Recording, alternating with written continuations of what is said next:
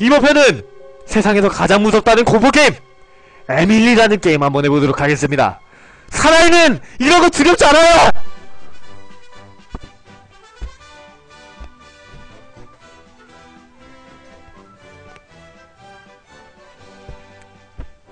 사나이는 태어나서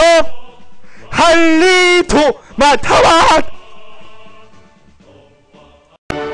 좋았어 이 가비로운 노래소리. 어 취한다.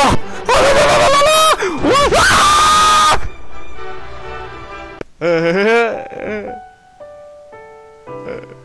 에밀리라는 게임 하지 마세요. 정말로 사람을 죽이는 게임입니다. 에 에밀리야